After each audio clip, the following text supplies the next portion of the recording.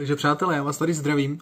Eh, tohleto video je vlastně primárně určeno pro moje sledující na Twitchi, kde streamuju od pondělí do čtvrtka, takže pokud si na tohleto video zavítal naprosto náhodou, tak se určitě někdy zastav, bráško, rádi tě tam uvidíme.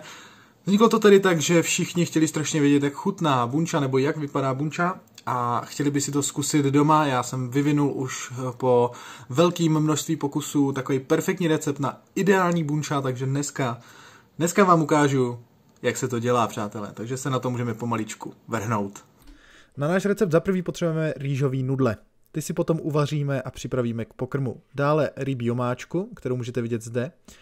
Následuje sojová omáčka jakéhokoliv druhu a rýžový ocet. Samozřejmě budeme potřebovat i maso, který máme tady připravený, děláme to tedy z bůčku. Teďka se vrhneme tedy na přípravu omáčky. Do omáčky dáváme 9 lžic cukru, do kterých nalijeme přibližně 12 nebo 10 až 12 lžic rybí omáčky. Záleží na chuti člověka. Podle mě je 12 lžíček tak akorát. Následně použijeme trošku rýžového octu, ten se dá nahradit limetkou, má to stejný efekt, ale rýžový ocet je přeci jenom o něco lepší. Následně přidáme sojovou máčku. Samozřejmě podrobný recept máte pod videem, nemusíte mít strach. Sojovky se taktéž dává podle chutí kolem 8 až 10 lžiček. Opravdu záleží na každém jedinci.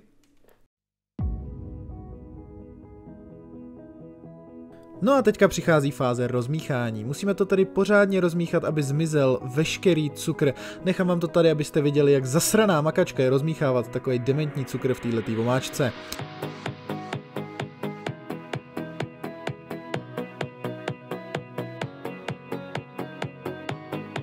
Případě, že se vám to nedaří řádně rozmíchat, můžeme přilít čtvrt hrnku vody, aby jsme napomohli trošku rozpouštění cukru.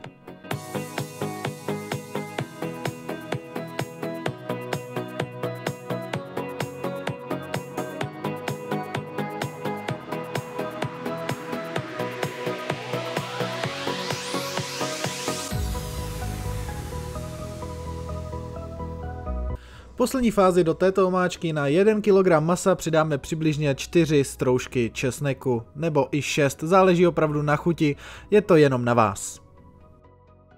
Další velice důležitá fáze je nakrájení našeho krásného bůčku. Krajíme to na tenké plátky asi půl až 1 cm.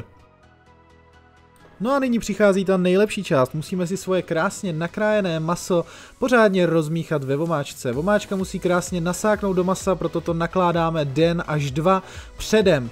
Samozřejmě nejlepší by byla bunča asi nechat naloženo alespoň dva dny, ovšem já jsem takový prase, že vždycky na to mám takovou chuť a sežeru to hnedka ten druhý den, takže nevydržím díl než 20 hodin. Bohužel, neskusil jsem to nikdy díl naložený, ale jestli máte vůli, klidně si to nechte naložený pěkně dlouho. Dáme to do ledničky a zítra si ho osmažíme.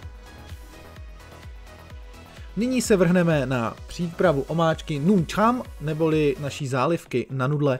Dáme půl hrnku cukru, dva hrnky vody, to je asi tak optimální. Opět přidáme přibližně třetinu až čtvrtinu, tedy respektive čtvrtinu až třetinu hrníčku rybí omáčky a hezky to tam smícháme dohromady.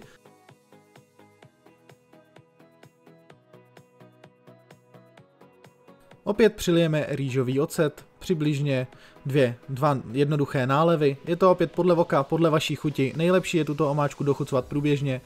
Hodíme tam dva stroužky česneku a trošičku chili. Záleží opět na vašich chuťových preferencích. Já dávám půl lžičky tohoto olejovitého chili. Můžete si dát čerstvé čili, můžete si tam dát ve směs jakoukoliv náhražku čili. Je to skvělá věc. V případě, že to není vončo, můžeme doředit a už jenom dochucujeme. No a přichází náš vrchol večera, hezké grilování masa. Nejlepší je maso grilovat, ale samozřejmě se to dá zvládnout i na pánvičce. Je opravdu důležité, aby jsme maso nechali řádně skaramelizovat. Musí být až mírně načernalé, aby se projevila ta správná chuť našeho bunčá. Tady vidíte nějaké stolování, jak by to přibližně mělo vypadat. Já mám tedy radši víc karamelové, takže já jsem si to trošičku přičmoudnul, ale podává se to tedy se salátem a rýžovými nudlemi. K tomu máme samozřejmě tuto chutnou omáčku. Moji azíští přátelé tvrdí, že se má do této omáčky namáčet jak salát, tak maso, tak nudle, ale já preferuji chuť salátu samostatnou a maso to vůbec potřebuje být prostě samostatné. Tato omáčka je totiž skvělá sama v sobě. Tak jo, já vám děkuji, že jste se na tohle video koukali. Doufám, že se vám to líbilo, doufám, že si bunča teda vyzkoušíte. Určitě se stavte někdy na stream a napište mi, jestli se vám bunča povedlo. Je prostě ideální to dělat na grilu, myslím, že jsem to určitě zmínil, ale pro jistotu vám to ještě tady říkám. Na grilu, nějaká elektronický grill, pánvička by musela být rozžavená hodně, hodně moc, aby to hezky skaramelizovalo. Nesmíte to maso sundat dřív, než bude min, minimálně trošku načernalý, aby bylo karamelizovaný. Tak jo, mějte se krásně, uvidíme se na Twitchi.